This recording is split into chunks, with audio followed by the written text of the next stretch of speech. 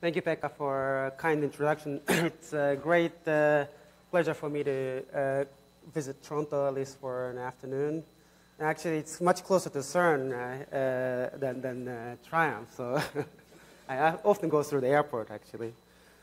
so today, uh, I will talk about the anti-hydrogen experiment that I've been working on for the last almost 20 years. And, but before that, let me just start with a little introduction about uh, TRIUMF, uh, and, uh, uh, which pays my salary. So, uh, TRIUMF is uh, Canada's National Lab for Nuclear and Particle Physics, and it's owned and operated by 19 universities, including University of Toronto. So I think Pekka is kind of like my boss, or somebody from this university is kind of like my boss. Uh, we have an on-site program uh, for nuclear physics and, and condensed matter physics and as well as theory group. And my department, uh, particle physics department, have an off-site program, uh, Atlas, uh, where many uh, people here are participating, and also a T2K neutrino experiment, as well as an ultra-cold neutron on-site and alpha. So these are the four particle physics priority projects, as well as other smaller projects. So having uh, said that, uh, today I will uh, describe brief, start with a brief history of uh, antimatter and antihydrogen, and I will spend a little bit of time uh, motivating uh, why we might want to do this kind of experiment. and then I will describe to you how to make actually antihydrogen atom, and then go into a little bit more detail about the, the alpha experiment.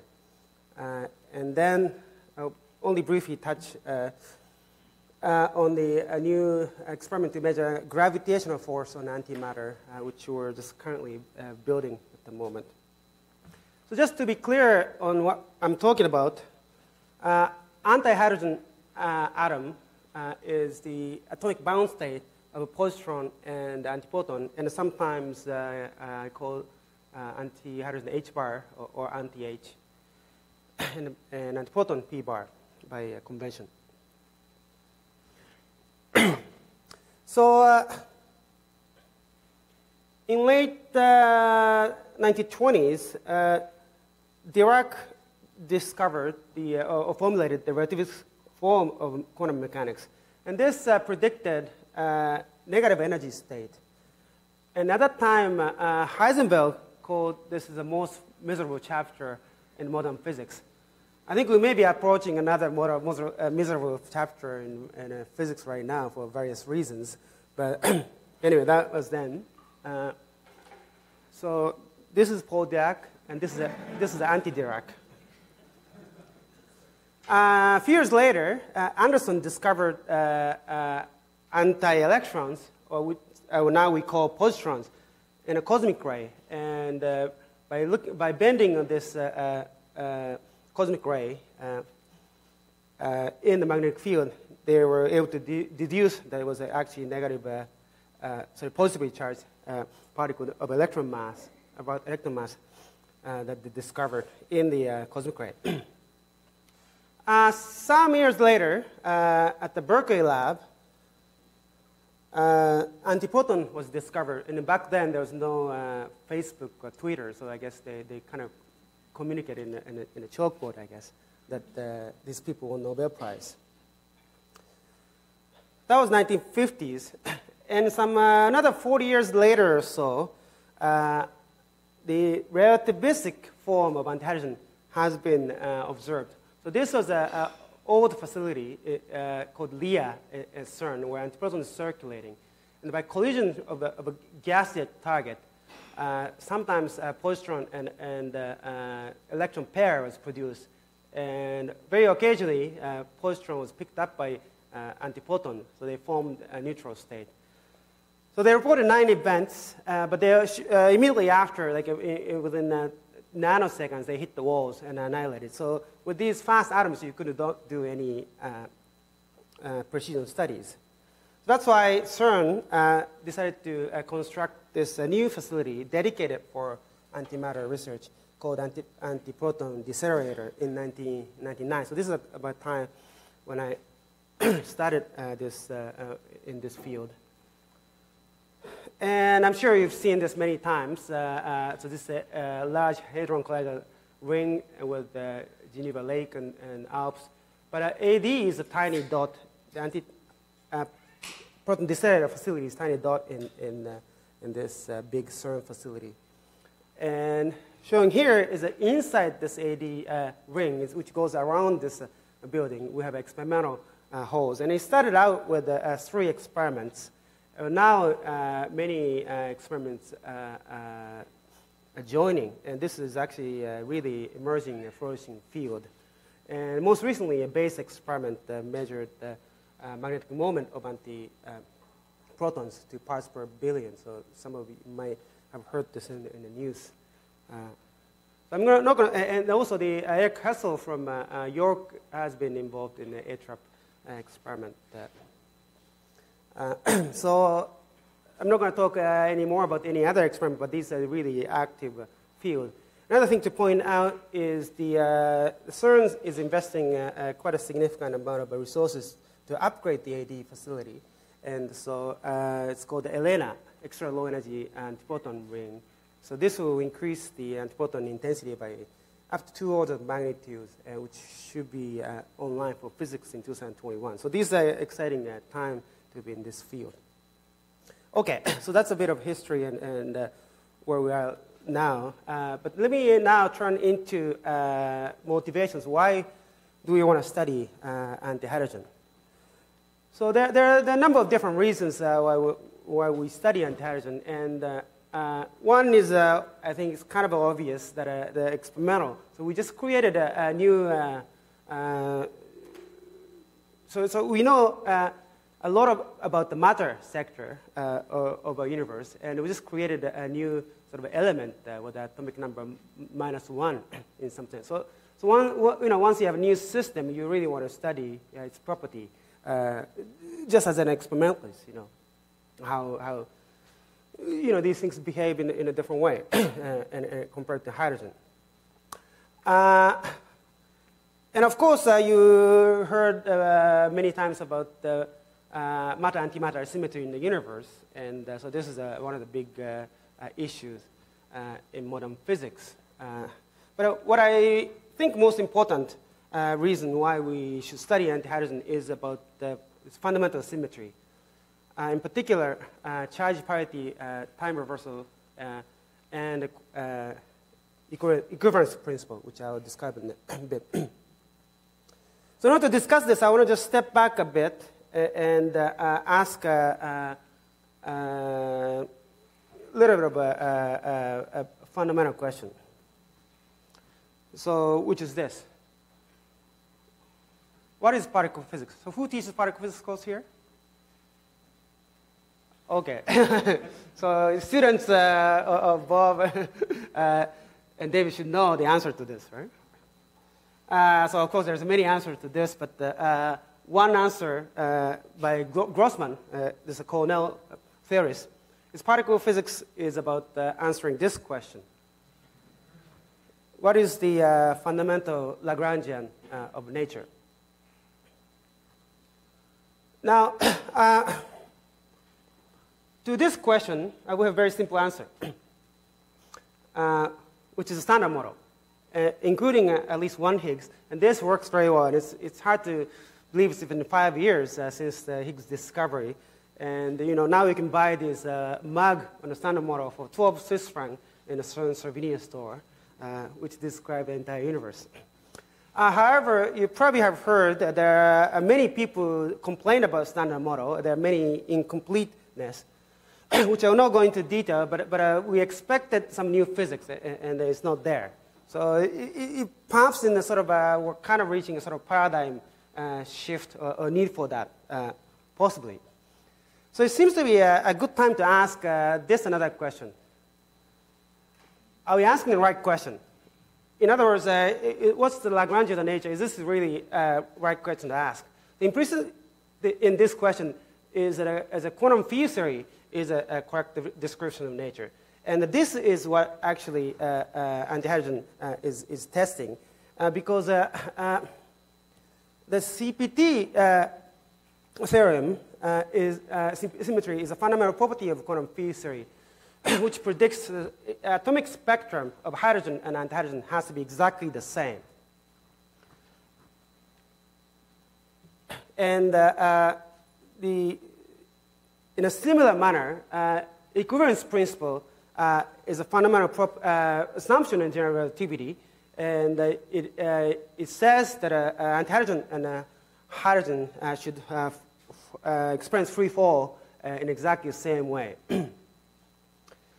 Uh, if we find any difference uh, in, uh, for example, in a diff, spectra of hydrogen or antihydrogen, or the gravitational uh, interaction of a hydrogen or antihydrogen.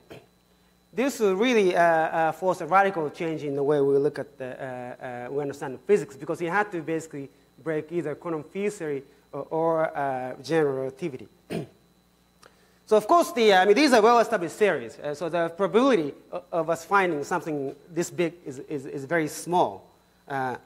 But uh, nonetheless, it's, uh, as an experimentalist, I think it's important to check. And where do you check when you don't know uh, where to check? It is, uh, it's like when you lost, lost a key in the darkness, you look under the lamp post. So this is a, a, an example of a sort of lamp post science, uh, if you will. And, uh, and this, uh, this is a lamp post because we think we can make a very high precision measurement comparison of hydrogen and antihydrogen. Uh, eventually. Okay, so that's a, a little bit of convoluted uh, motivation that, that, that, that, I like to tell people about why uh, we study antihydrogen. so now I'll go into the how we, we make antihydrogen. so after the AD started in late 1990s, after several years of work, we've been able to produce slow-moving antihydrogen. So this we did by combining uh, uh, large amount of antiprotons uh, together with a large amount of positrons, which are held uh, in vacuum. Uh, and, and, antiprotons uh, we obtain from the AD, and it's produced in a, a high energy collision of proton with a target. So you need some 12 order of magnitude of deceleration and cooling. The positron is very easier because you can buy a source from a company and so you only have to uh, decelerate about uh, 9 order of magnitude uh, in order to uh, make them cold enough to, to be combined, to combine and form antihydrogen. but this side really was pioneered by Jerry Gabrielse, uh, who's been at Harvard for a long time. And the positron, uh, nowadays, everybody uses a, a, scheme developed by Cliff Surko at, at San Diego uh, Athena experiment, they introduced the uh, detector to, to detect these uh, uh, annihilation of antihydrogen, uh, which I'll show display in a minute. So this was a, a particle detection capability is something that we have had as a unique capability among our competing experiments. so let me talk a little bit about how we trap antiparticles. so obviously, antiparticle you know, hits the walls and annihilates. So you have to suspend uh, them in, in, vacuum. And generally, to, to suspend a particle in a vacuum, uh, uh, you need at, at least two uh, uh, things. One is a, a, confining force. When, when an atom or, or, or, ion try to hit the wall, you have to push it back, uh, obviously. And, but the other thing you need is a loading mechanism. so if you, in a conservative system, you have a well, uh, any particle that has uh, enough kinetic energy to go into that well will just get gets out. So you need some sort of trick in order to uh, uh trap antihydrogen in, in a confined in, in, in a confined space. Uh, trapping charged particles is uh, quite easy. we use this device called penning trap. So here we have a strong magnetic field along the axis. So for example, electrons are bound tightly to the cyclotron orbit along this magnetic field. But if you just have that, then the electron can uh, leak out at the, uh, both uh, uh sides. So you plug these uh, uh, edges by electrostatic potential. So this is a, a, a, principle of a penning trap. And you can trap up to several a charged particle of, of several keV, kilo electron volt in energy. Uh, it's much harder to trap uh, neutral particles, obviously, and we use uh, what's called magnetic trap. I'll describe a little this in more detail, but the, difficulty here is really the deep depths of the, of the uh, trap is very shallow. Uh, and then in, in, terms of loading, uh, we use uh, different kinds of loading trick. One is a dissipative, so you actually cause a friction. So you, when particle goes in, you slow it down inside the trap, and then uh, the uh, particles trapped. For example, this is how we trap positrons uh, using a buffer gas. Uh, another mechanism is dynamical. So you, uh, you send in a bunch of, uh, short bunch of antiprotons, and then you open the well, this electrostatic well, short period of time. Antiproton bounces back, and then before it comes back, you close the well. That's an example of dynamical trapping.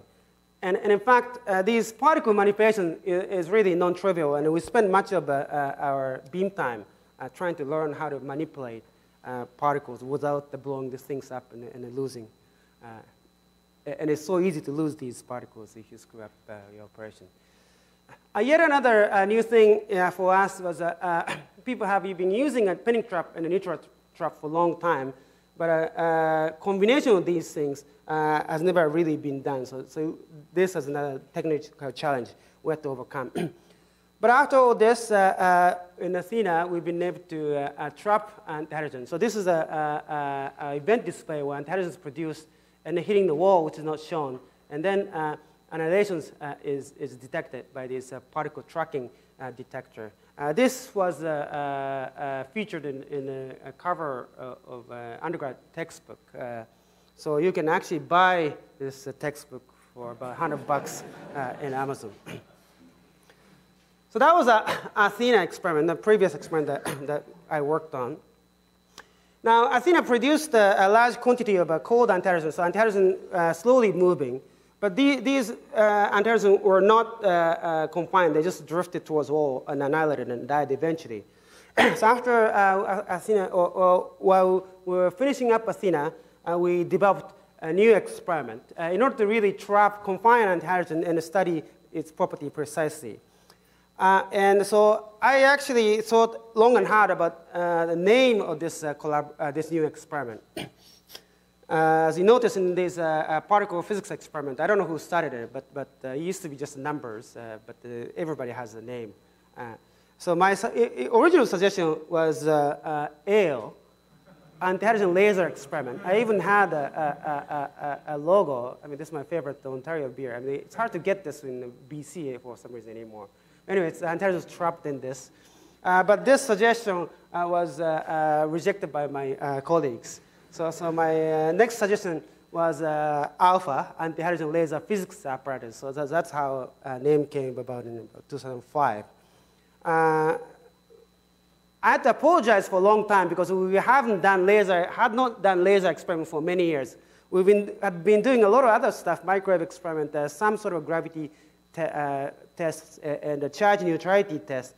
But only recently, only uh, uh, several months ago, that we managed to do laser experiments. So now, finally, we can really call this uh, alpha without apologizing. so the so this is a list of collaborations. So we have carryover uh, from a previous Athena experiment and the new collaborators, and then a significant uh, Canadian uh, group. And uh, I'm actually making a Canadian group bigger than uh, we actually are by using slightly bigger fonts. Cheating. but actually, we're about 40% uh, of the collaboration, and there are a number of students and, and postdocs that are highlighted here who works very hard on experiment. Uh, but it's a really great, great the team effort, uh, international and interdisciplinary experiment. so, so how do we uh, trap anti neutral antihydrogen? Uh, so, okay, so we just first uh, produce again antihydrogen like we did in Athena, mix uh, protons, antiprotons and positrons. And they we just superimpose the magnetic trap. And magnetic trap works from the interaction of a magnetic moment and, and, and a B field. So just wind some coils around. So it sounds pretty easy. And in fact, uh, uh, well, th uh, this is actually a, a little more uh, cartoon version of uh, uh, what's going on. So the, this is uh, what's known as the Rabi diagram, antihydrogen, uh, uh, sorry, or hydrogen energy diagram in a, in a strong magnetic field. And we work around one Tesla. So at, at this strong field, essentially the, it's a, positron and, and uh, antiproton spins uh, decoupled. So these two hyperfine states are trappable, and these two hyperfine states are, not trappable. and, and so by having, these are trappable by having a magnetic field minimum in the center. So here's an anima animation of how, how uh, it works. So the uh, antihydrogen is, is like a little bar magnet uh, with, with, with, a magnetic moment. And, uh, and because of the configuration of magnetic field that we produce, uh, when you hit, uh, try to hit the wall, it's pushed, it's pushed back by this magnetic potential. So this is how we, we trap antihydrogen. Unfortunately, this, this force, magnetic force is very weak, so we really need the coldest atom that is possible. And just in order to quantify a little bit of this challenge uh, uh, that we had a little bit more, uh, so there are different character, characteristic energy scale in, in, in experiment. One is uh, plasma energy. So in order to make antihydrogen, you have to have a, a lot of uh, antihydrogen, uh, antiprotons and positrons. And, the, the, and then they have a lot of potential energy, known as a space charge. And uh, it, typically, you have order of about 10 volts, 10 electron volt of space charge in this plasma that we trap. On the other hand, the neutral trap is maximum of tens of uh, uh, microelectron volts. So really, uh, there's, a, there's a sort of a five order of magnitude difference in energy scale of the problem that we have to deal with uh, in order to trap antihydrogen. Uh, hence, we need a precise control of this uh, trapped plasma, a large number of charged particles. Co compared to that, actually, our original antihydrogen production was much easier uh, partly because atomic energy scale and the plasma spatial energy scale is similar. So no matter how badly you mix positron and antiprotons, you, you end up with some, some atoms. But those, those atoms are typically too hot to be trapped. Uh, in, order, in order to uh, produce uh, cold atom, we, we, have to work really hard. And also because of this uh, discrepancy in energy scale, we, we knew uh, that uh, event rate for the trapping is going to be very low. Uh, and so, so that's why uh, we uh, spent significant of effort, amount of effort to develop the sophisticated annihilation detector. So, so this is, it, for example, in this case, it's a, a, a silicon detector uh, with almost a square meter of area, uh, which is a, quite a bit of effort. But in the end, this position uh, sensitivity turned out to be very important, and, and, it, uh, and I repeatedly come back to this position sens uh, sen uh, sensitivity by this uh, tracking detector in, in this talk. so they, we started out in, our physics in 2006, and, and, we had to reinvent all these kind of techniques that, that people don't use in, in, normal matter atoms or ions. And I can't go through any the, in any detail, but I just expect to, except to highlight this uh, one of them, which is uh, uh, evaporative cooling uh, of, of.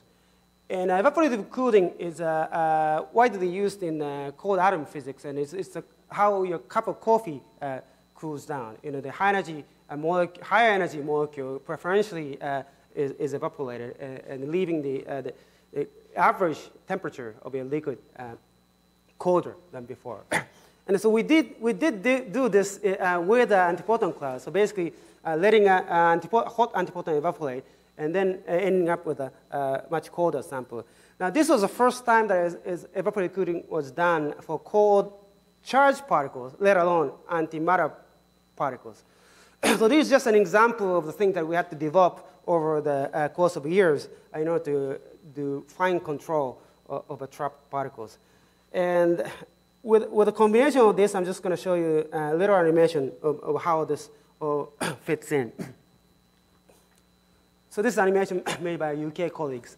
so shown here is outside uh, uh, uh the, uh, the, the uh, three layers of a silicon, uh, double-sided silicon tracking detector. and whole thing is, is fit into one Tesla solenoid field, which is not shown. Now, if you peel off the detector, these are the, in, the magnets that traps, that produces this magnetic field to push back the, the atom from the wall. And, and we typically, uh, so these are uh, superconducting magnet uh, in, immersed in liquid helium held at 4 Kelvin. And we typically use uh, water 1,000 amps. These, these are sort of you know, high, the, as much current we can put in the, these, these cryogenic system. and, and so, so, we try to make the highest, deepest uh, neutral trap uh, possible. And if you peel off these uh, trap walls, inside here is the penning trap electrodes. So these, now we're in an ultra high vacuum re region.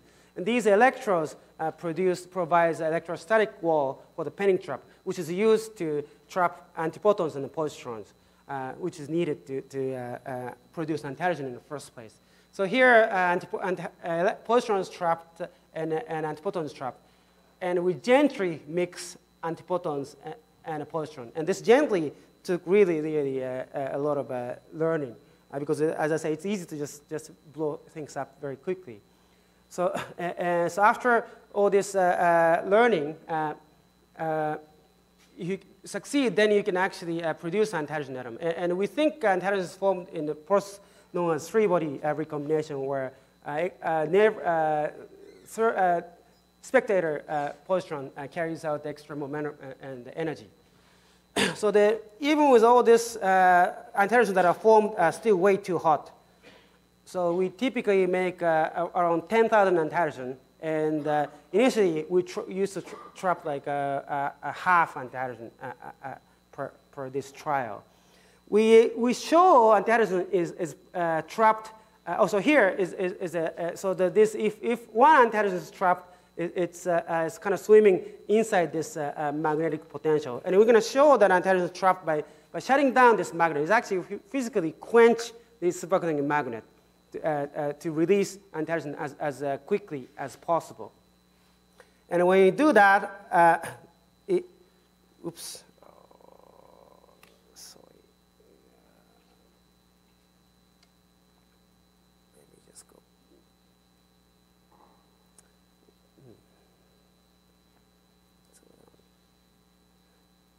yeah. So when, when you uh, uh, turn off the uh, magnetic trap, antennas release, drift towards the wall, and hit, uh, hit the walls, and then produce these uh, uh high energy particles, uh, which we track uh, from the uh, in vertex detector. so this is how we detect antihydrogen schematically. so this was topic of one of my student thesis, and of course, we are looking at very few rare events initially, so we had to worry the, about the background for this kind of event. and uh, and uh, one major background is cosmic ray. So this is a, a, a front view, top view of uh, uh our experiment. So this is a trap walls where antihydrogen could, could hit and annihilate. So, so we detect only uh, antiprotons. So in, in this case, antiproton hits wall going to three pions, which are detected with a silicon detector. A cosmic ray uh, looks more like a straight. So using uh, this topology uh, difference, uh, we've been able to uh, show that the, the cosmic background is, is negligible beyond 5 sigma. and in 2009, when we tried this, this trial for about 200 times, we saw six candidate events after blind analysis. Uh, now, as I said, this, uh, uh, we had a statistical significance to reject cosmic, but we were not able to reject one important possible background, which is very unlikely according to simulation, but it was, was nonetheless uh, uh, seemed possible. So that was a mirror trapping of bare antiprotons. So remember, we only detect uh, antiprotons, not positrons. So if any bare antiprotons are, are left in the trap, and due to the inhomogeneous magnetic field, uh, due to the mirror effect, these, these antiprotons could be uh, trapped. Then we could not be, rule out this possibility. so at this point, we did not claim antihydrogen trapping. Again, simulation indicated this was a, a, a very unlikely. And some people accused us that we were just being too conservative. What's, what's, what's the big deal with, uh, about uh, trapping few atoms? But, but uh, okay, I think we were right we did the right thing by being uh, conservative. Uh, so the year after, uh, we improved that trap, uh, and uh, uh we saw uh, uh, 38 events out of a 30, 300 trial. But more importantly, we came up with the new control measurement by basically, so this is in retrospect very simple. So I was, I was, I was kind of a, disappointed about myself why, why not I didn't think of it sooner when I think about this. so it's basically, you, the, the trick is just apply electric field to deflect uh, uh, any charged particles. So if it's neutral, it's not affected, uh, which is what you want. Or if it's charged background, then it's deflected by electric field. so this really convinced us that we were really seeing the neutral antihydrogen hitting the wall. And so we went, we announced that antihydrogen is really trapped. And here we're uh, illegally opening a champagne in, in a control room. Uh, oh, I guess I'm being taped, I guess. Uh, and then, so this was some, drew some interest.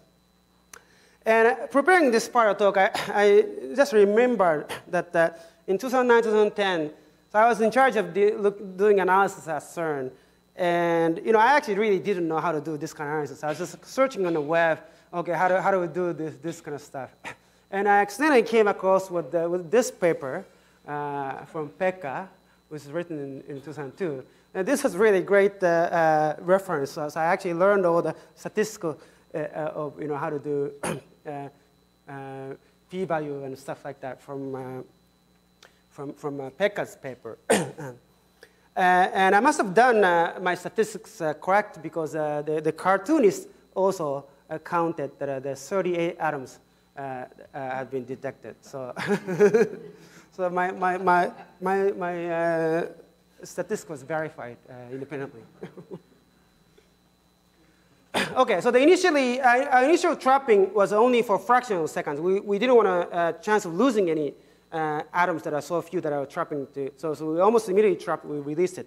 Uh, but subsequently, we've been able to extend uh, uh, antihydrogen trapping time uh, to as long as 1,000 seconds or perhaps 2,000 seconds. So this, so this, is what I'm showing here is the number of antihydrogen trapped, trapped as a, a, function of confinement time. And here, there's this variation of probably just systematics.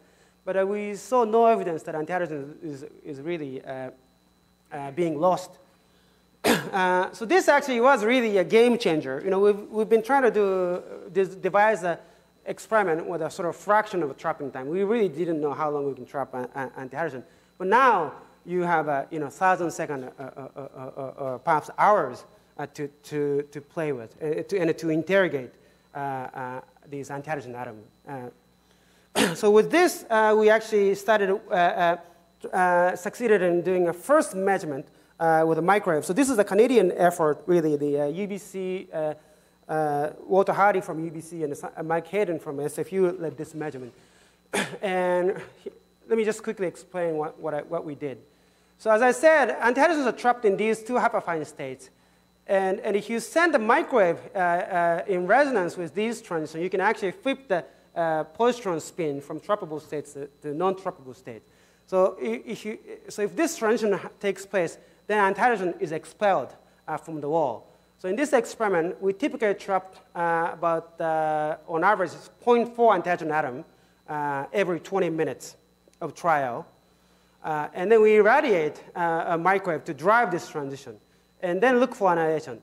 And after all this uh, uh, long, uh, well, to make long story short, we, we, we were able to observe, in coincidence with micro injection, which is at, the, at, the, at zero, this clear uh, annihilation signal. Uh, if the uh, microwave is on resonance, and if off resonance, you see a little count. So th from this, we claim that we actually saw the first quantum transition in, in antimatter atoms. So as a, as a spectroscopy, this is a very low precision, 10 minus 3 level. But it, this experiment really demonstrated that even uh, with a single antiatom at a time, or, or in fact 0.4 antiatom at a time, you can actually do some sort of a, a measurement.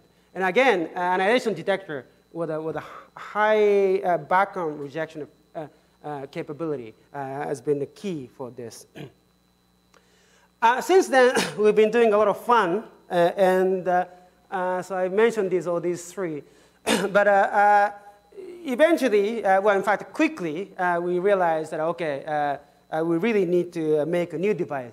So, so, so we, we oh, it's, it's, A, no, it's, A is missing, but it's Alpha 2 device was, was constructed during a CERN shutdown. And we've been, in, a, in the past couple years, we've been able to do some fine measurement. and so let me just mostly focus on the, on the laser experiment that was published in January this year. so So the, so the measurement we did is a 1s to 2s uh, two photon spectroscopy. So, so by using the uh, counter-propagating uh, photons to drive 1s to 2s uh, uh, transition, uh, Doppler effect cancels to first order. So this is a really the sort of a, a lamppost, at least one of the lampposts in, in, in antihydrogen physics, because in matter sector, the precision is so tremendous. So this is a, a hydrogen spectroscopy shown as a function of a year in a log scale, and it's been accelerating uh, even in log scale, the, the, the, improvement in precision, until Ted Hänsch won Nobel Prize around 2005. So it's kind of uh, stopped a little bit, but they're still making uh, the, the, gradual uh, uh, progress. And now it's about uh, parts per 10 to minus 15 level.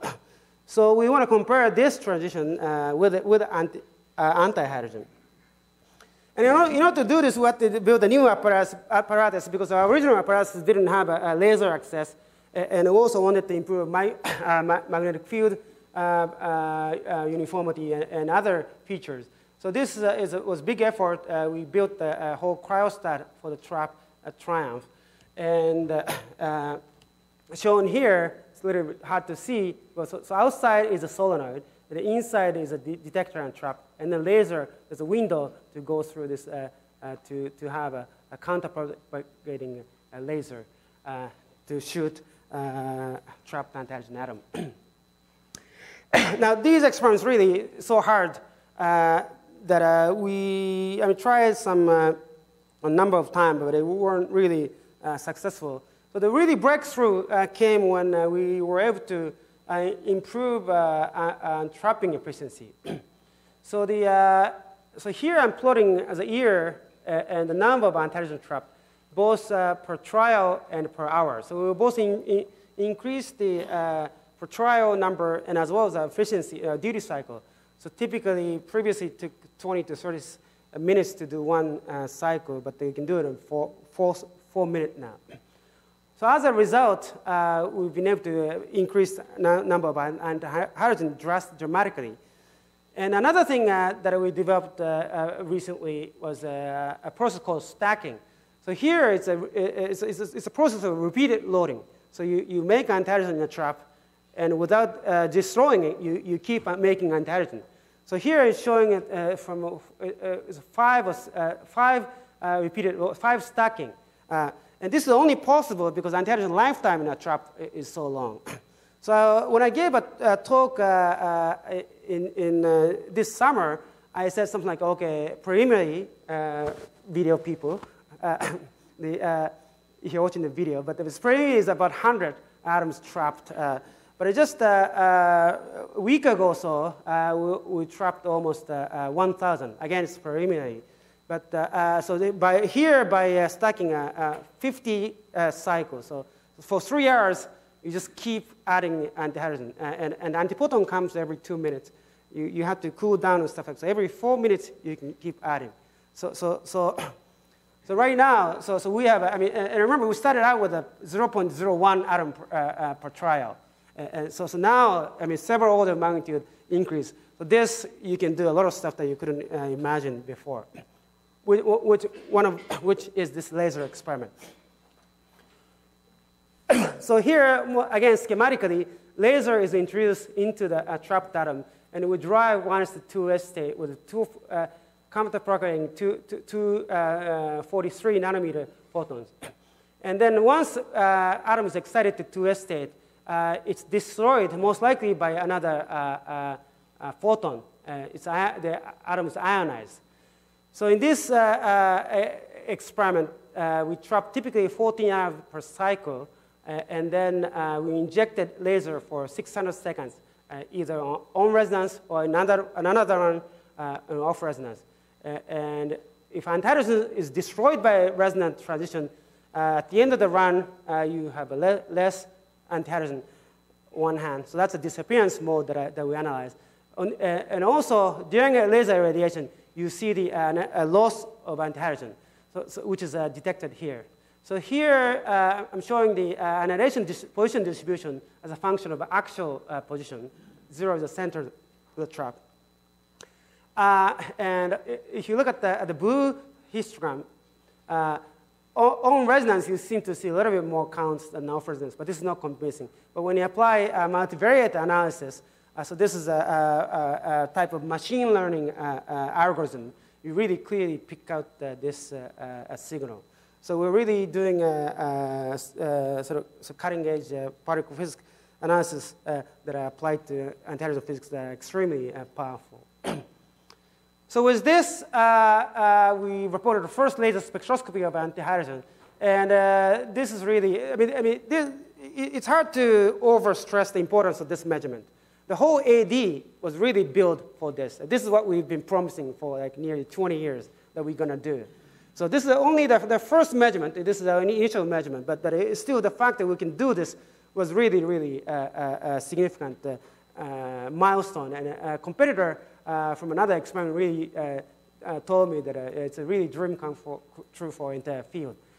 so now, I with this really initial demonstration experiment, we know by in 10 digit this frequency of a, of a transition.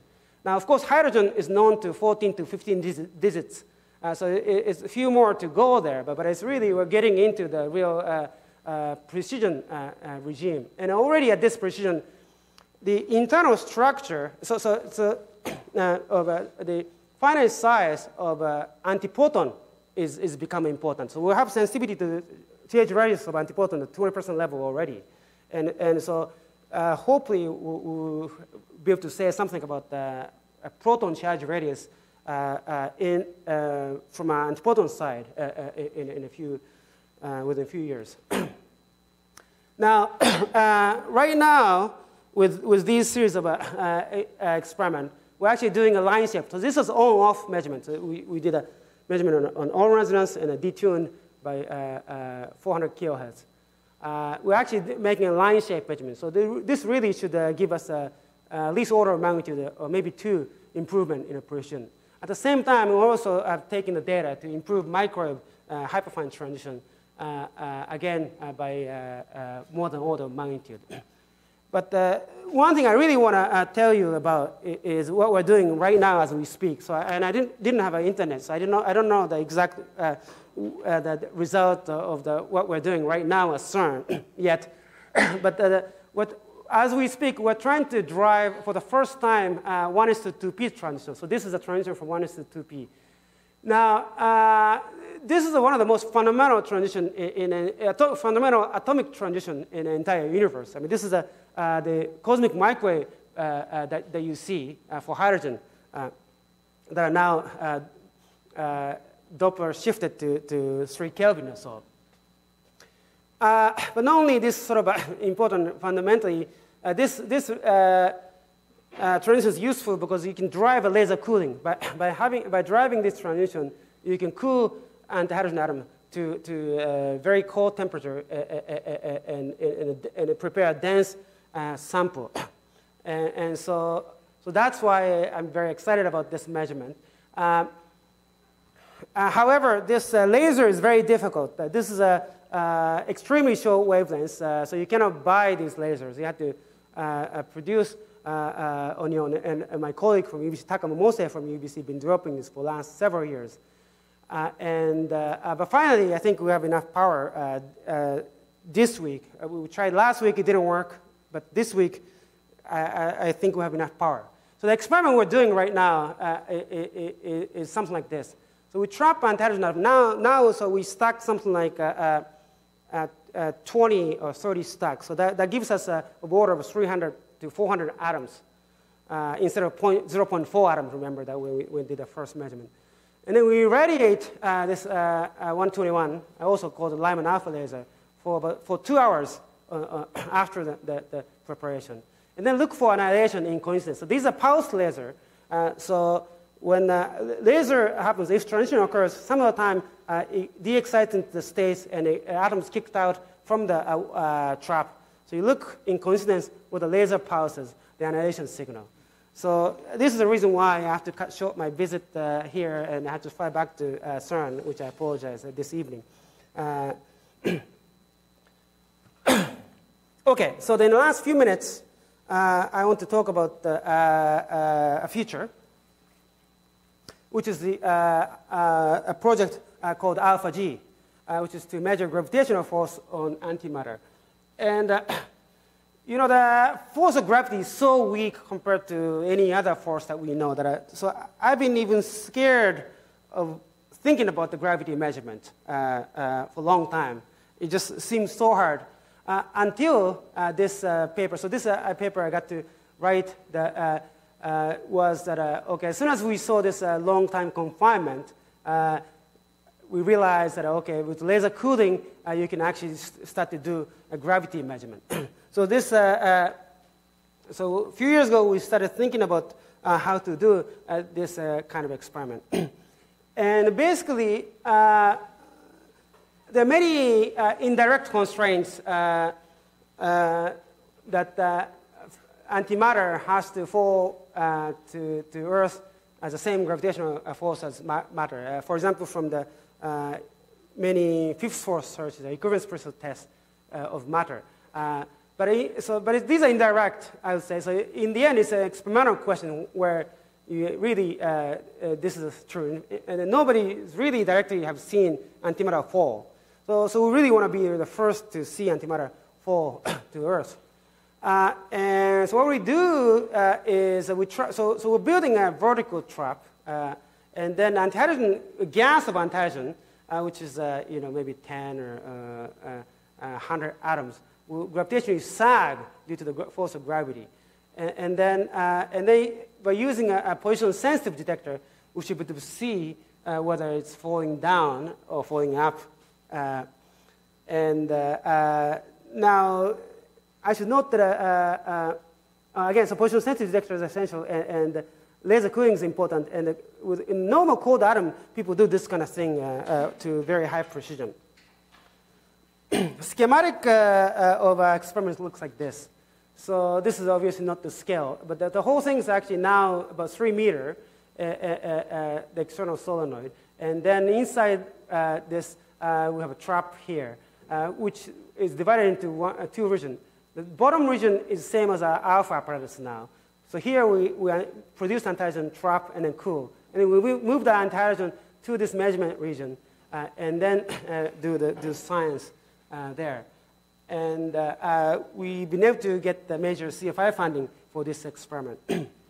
Uh, at TRIUMF, we're, we're, constructing the time projection chamber, and for the various reasons, we had to uh, drift charges perpendicular to the magnetic field. So, so this, is a, uh, this is for expert, but this is a little bit unusual configuration of a, a radial uh, drift uh, TPC and we're the prototype. Well, in fact, we're actually building a full uh, full detector and testing right now at TRIUMF. uh, just quickly, so the experiment will, will look kind of like this. Uh, it's it's a three meter uh, solenoid inside which we have a trap, and oh, it's hard to see in here. but, and there are many different ways of actually uh, uh, showing something is dropping. You know, I mean, whether you throw it throw it up or, or, or, or just uh, release it. Or, I mean, there are different kinds you could do. But one uh, uh, simplest thing uh, is to trap antihydrogen, for example, in this region, and then just uh, uh, really, slowly ramp down the magnetic trap. And because of gravitational force, you, you, get more counts at the bottom than top. And you still get some counts in top because thermal energy is still quite high. But, the, but the, uh, by do, ramping down slowly, you can actually uh, cool, uh, you can do a bit of cooling. So the up and down ratio uh, will be uh, much more, uh, become more prominent. We're very busy um, putting together this experiment, and we have a crazy schedule of trying to commission this before a shutdown in 2019, and hopefully do first measurement if lucky. Uh, finally, a uh, bit about the far into future. So probably, in my opinion, a future uh, for this kind of field is, is, atomic fountain. So this is a d'eau, uh, is a, a, water fountain in, in Geneva, and we want to do something like this with a antihydrogen atom. Uh, specifically, uh, you can create a configuration where you launch uh, one atom and then uh, split its wave function into two. and then these two wave functions uh, will travel uh, different, few different gravitational potential, and then they can be made combined using these laser pulses. And from, uh, from this uh, interference, uh, the phase of, of, of, this interference is proportional to the gravitational force, or in fact, any other weak for any, any other force that, or, or, any other potential difference that, that these two atoms feel. And this is a very powerful measurement because it's a relative measurement. You don't really know, need to know initial condition. Uh, uh, always you want to do relative measurement is possible. So, so, so, there's some specific proposal to how to make fountain. But these are very difficult, uh, so we're not going to be able to do immediately. But these are something in the future that we like to do, uh, anti-atomic interferometry. so with this, uh, let me uh, conclude. I hope I try to address some of the fundamental questions uh, that uh, uh, uh, uh will address. and 12 or 13 years since the beginning of alpha, after a lot of development, technical development, we have finally entered the precision physics era. So we're now looking at the latest spectroscopy at torus 10 minus 12 level, microwave hyperfine spectroscopy uh, to uh, the level of uh, 10 kilohertz. I didn't have time to mention, but the charge neutrality of antihydrogen is another pet project uh, of mine, uh, which is a side measurement, uh, but could approach 10 minus 10. We, we already done 10 minus 9. And then, as we speak, we're trying uh, 1s to say—to p transition, the most, one of the most fundamental atomic transition uh, in, in, the whole universe. we're, we're, developing a, a gravitational uh, a measurement, hopefully to start next year. And as I mentioned in the beginning, uh, CERN's upgrading the AD into this new machine, ELENA, uh, which is uh, uh, under construction. So it's really an exciting time uh, for, for us uh, with all this development. I just want to close my talk by quoting Dan Kleppner, who's a, a, a, prominent atomic physicist from MIT. he said this in uh, uh, Munich Antihydrogen Workshop in 1992. So that's like uh, 25 years ago. So he said in 1992, in the past six years, creation of antihydrogen has advanced from the totally visionary to the very, very difficult. so I think uh, real precision measurement and gravity uh, uh, physics when the, uh, was antihydrogen is finally moving from a, a totally visionary to very, very difficult. So I'd like to end with uh, acknowledging all the students uh, that are working hard, and, and they are uh, happy to see that they are acknowledged uh, in, in uh, various media for their work. Thank you. Thank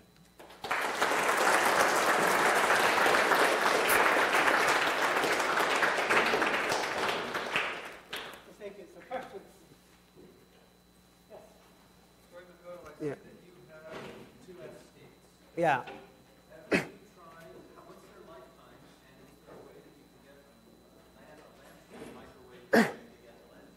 Yeah. So, so lifetime is about one eighth of a second, uh, so 120, 130 milliseconds. So, so, so they, they, they're, they're quite long. So in fact, that's why the, uh, that transition is, is, is, very narrow. You know? uh, and yes, Lamb shift is one thing uh, we're looking into.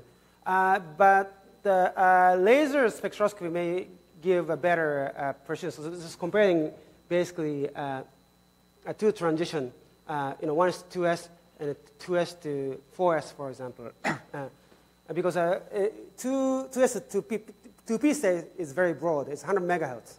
Uh, uh, so, so the line width uh, is going to be uh, very, and um, to, so it, we, we should be able to drive it with microwave relatively a straightforward way.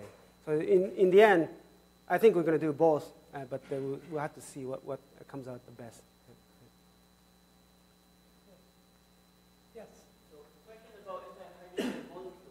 Yeah. yeah, so I guess uh, uh, in, I mean, in principle, I mean, you, you can start thinking about this. I mean, okay, with one atom at a time, we couldn't think of something, anything like this. Like this. And with a thousand, uh, maybe, you know, sometimes they might interact. But I, I, I think the cross-section is very small for, for the uh, uh, formation of molecule. However, some other experiments are trying to produce uh, an ion made of uh, antiproton and two positrons. So it's an antimatter equivalent of a H minus ion. And so, so there, there's an effort uh, going on, separate effort going on to produce that. And it has some advantage. If you, a, a charged particle, charged ion is much easier to handle, manipulate than a neutral uh, atom. So, so, so that effort is going on. And eventually, you know, not only just molecule, you know, we'll be able to make a Bose-Einstein condensate of, of antihydrogen and stuff like that. But that, that's a few years away.